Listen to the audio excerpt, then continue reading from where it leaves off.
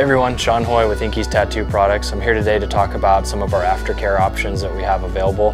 First one we're going to talk about here is the uh, aftercare cream. So it's a great product if you're looking for some of those more natural ingredients, the almond oils, the soybeans, vitamins A, C, and E. It's also got a little bit of lavender in there with the uh, oatmeal and it really pulls out that heat that you can get in those tattoos. So if you're one of those people that really enjoys a cream, this is a great product to uh, apply to your tattoos to get rid of that, that heat feel that you can get a lot of times on, on some tattoos.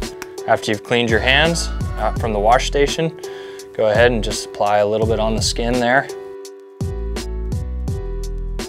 Don't really need to scrub it, just give it a nice smooth rub in and